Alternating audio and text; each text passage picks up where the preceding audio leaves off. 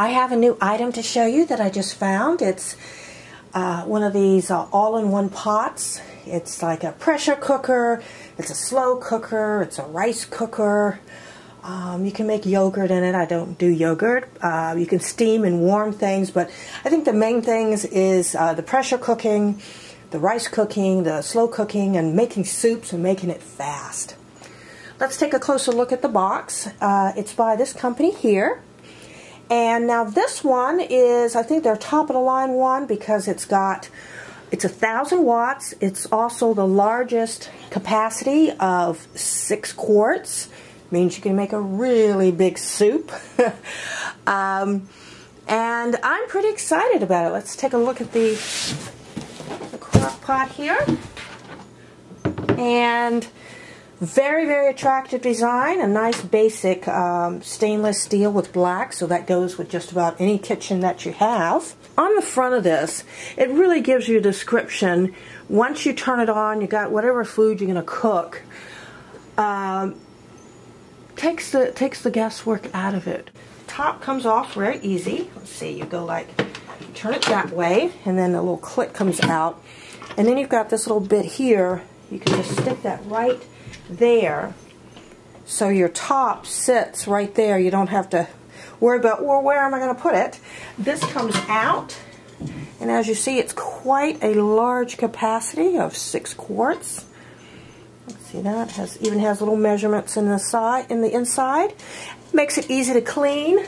I like that. This part here, this is the part with a little thing that moves around. I remember the old ones made a lot of noise. But that's where it's the pressure part of it. So you, that's where the little steam comes out.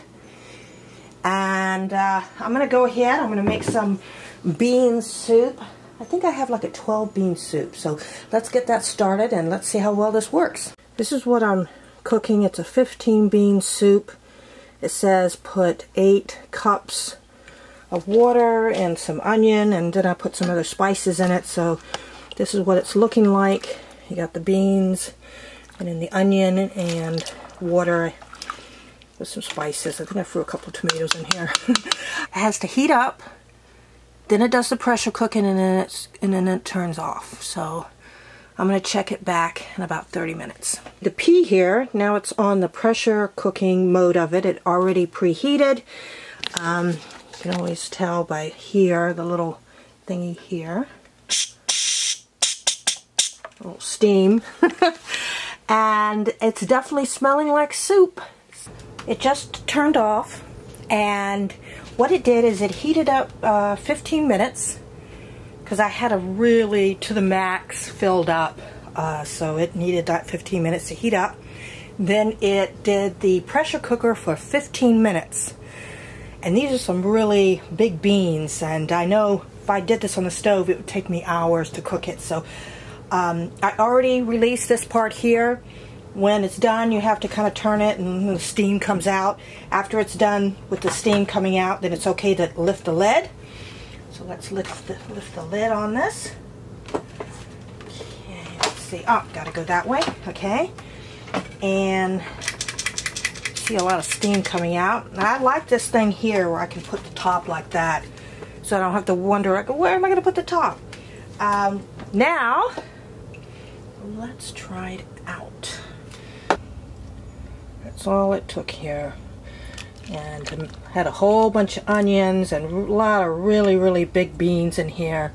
So um, I want to see how well it tastes.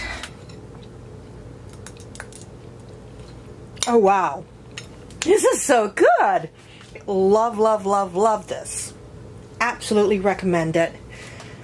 So much better than trying to do this on the stove because it's beans. It takes usually a long time and I didn't have to babysit it. I didn't have to stir it. I didn't have to do any of that stuff. Um, I love it. That's it for my review today. Thanks for watching. Bye.